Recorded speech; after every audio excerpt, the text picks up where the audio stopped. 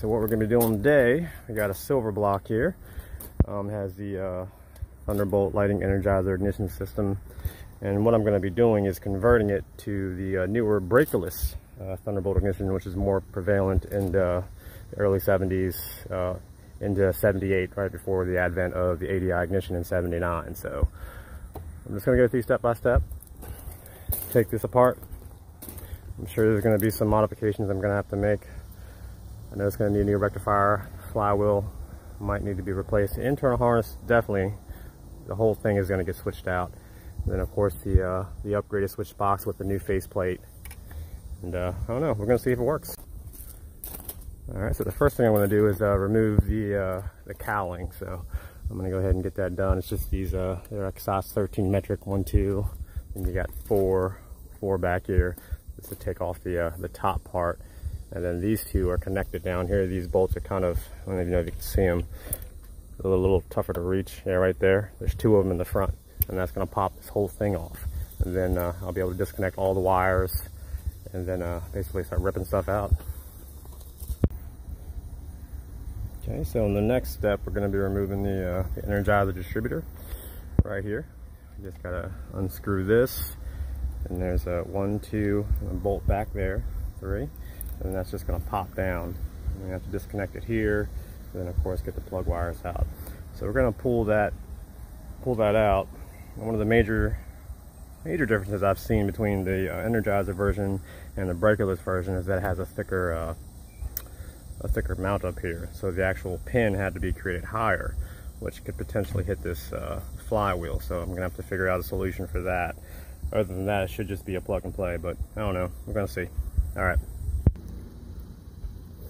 All right, so we're looking at here is the uh, the breakerless distributor and the energizer distributor. As you can see, the rotor shaft that connects to the to the belt up here at the top, the, the fly of this thing right here, is longer. And when they uh, designed this model, they made this bracket right here 3 eighths of an inch wider.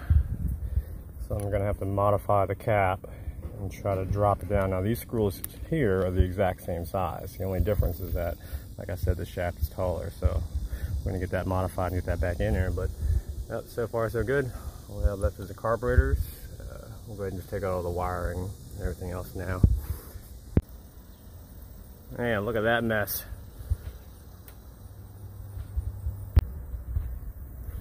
All right, so we got quite a mess uh, going on here.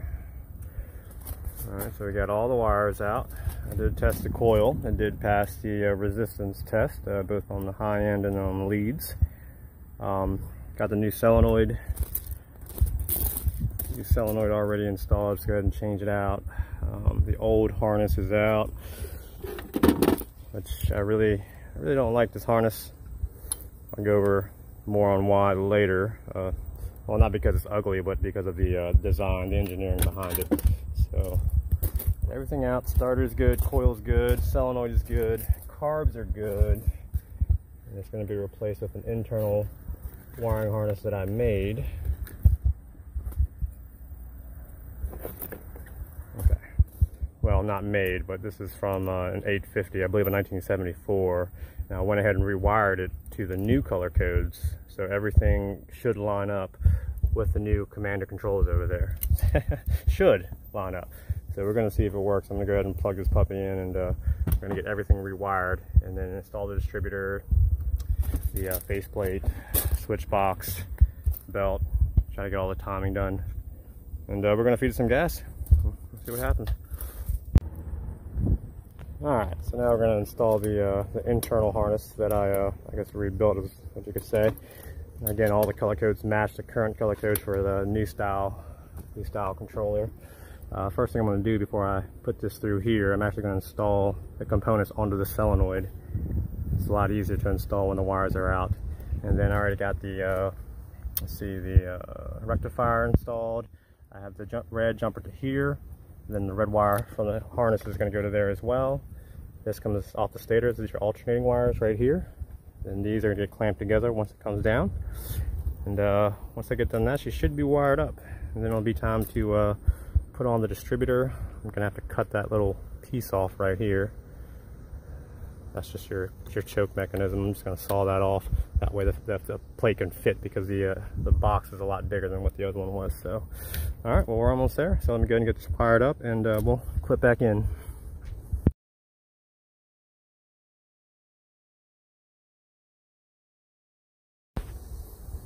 All right, so now I got the uh, new internal harness installed, everything bolted on, solenoid's hooked up, starter's hooked up. So now I'm just gonna put on the uh, face plate and connect uh, connect all these wires here, and then finally the distributor. All right, so now I have the face plate installed, all the wires hooked up. That's from the coil. That's for the tach, which might end up changing to being on the uh, rectifier. Uh, this is the 12 volt. It's also attached to the uh, rectifier. If you can see that. This one goes back to the controls into the battery.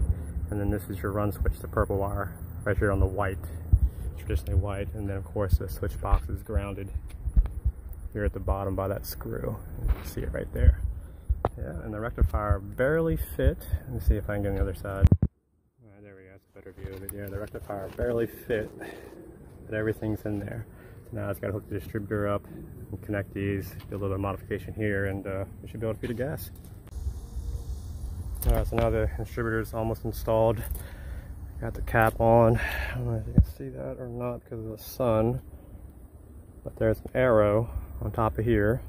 The center, the arrow, and the two dots on the flywheel, they all have to line up.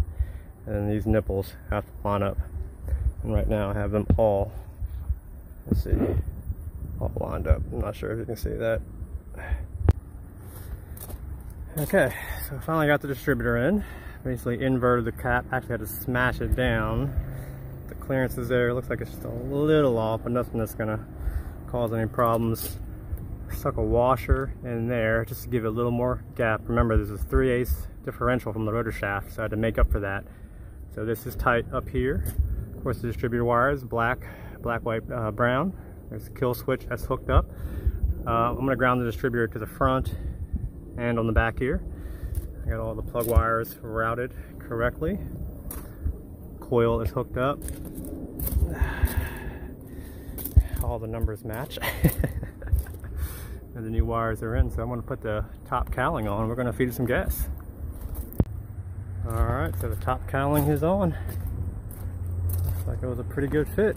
So I'm gonna go ahead and make a talk, see what happens. All right, got the water running. Did one last final check of all the wires to make sure everything was correct.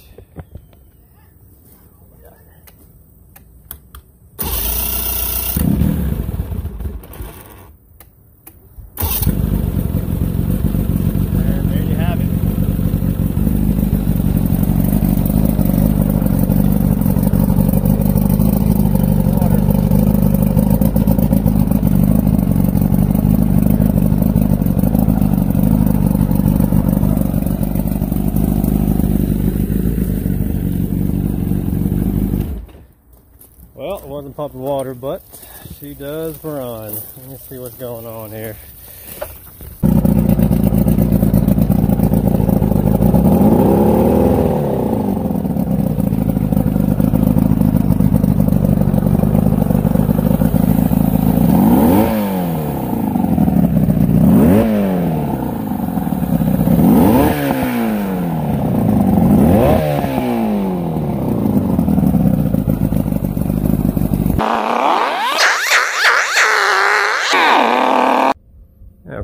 Back to why I don't like the uh, the Energizer harness. As you can see here, E is connected to G, and you have uh, you know your yellow, black, gray, salmon, and all that stuff, and then all the way over here you have brown that appears out of nowhere. Now this is your your tach signal, okay, and it's connected to the kill switch, and there's a module you can get that that's supposed to make it work or whatever, but you know just those two wires connected, and then the brown appearing out of here you know, just seems like a poor design.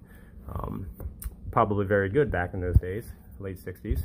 So this is the ignition system that we went to. And as you can see, there's an independent brown wire that goes up to the switch box for independent tach reading, which I actually did that on this model. It doesn't work, so I'm going to hook that tach button up to the uh, alternating side, yellow side of the alternator, and then that should work. But yeah, that's really my only qualm was uh, that wire being connected, E and G being connected, and then over here, they are completely independent. So that was the main reason for the upgrade. All right, you guys, thanks for watching. I appreciate it.